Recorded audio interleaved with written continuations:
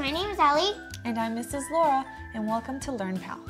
Now today, we're gonna do a fun little activity using chopsticks, erasers, and then we have these little flowers that have these little spots on them, kind of like this.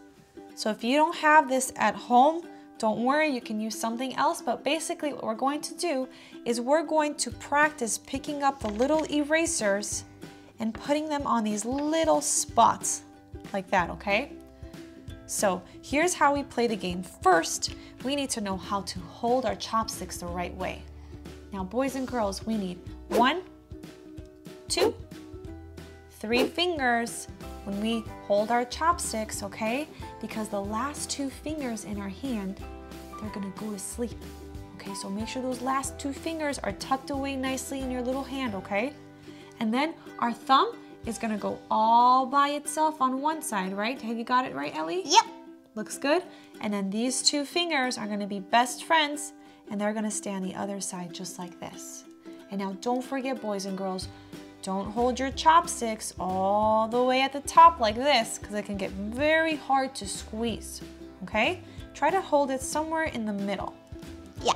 That way it's easier to pick up these little um, objects, okay? These little erasers.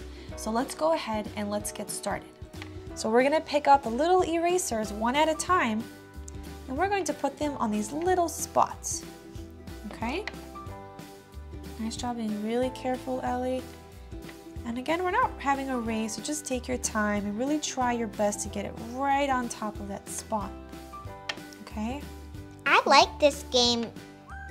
Good, I'm so happy to hear that and I love to see how you're doing it so well. Nice job. So proud of you. I kind of did this before, I think. You did? Okay, good. So then this must be a little bit easy for you, right? I think when I was little, I did this. Maybe? Well, I see that you're doing such a good job with it. Nice job. And now boys and girls, don't worry. Take your time at home. You don't have to rush. Just try your best, okay? So we really want to hold our hands steady, nice and careful when we put it on. It could be really tricky or it could be easy. It really depends on how much practice you've had. And don't worry, the more you play it, the better you're going to get with it, okay? So I'm gonna keep going with mine until I can catch up. Looks good, Ellie. Good job finishing, and thanks for waiting for us to catch up too, because Yep. some of us, it might take a little bit longer than others, right? Yep. So I'm gonna keep going. I've got two more that I gotta put on. One over here, and then one over there.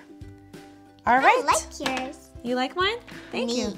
I like yours too. I like how you had you had a watermelon eraser. I didn't have one for mine, but yours are really cute. All right, boys and girls, thank you so much for joining us. If you're still finishing up your little activity, go ahead and do that, and then we can't wait to play with you next time, okay? Bye, everyone.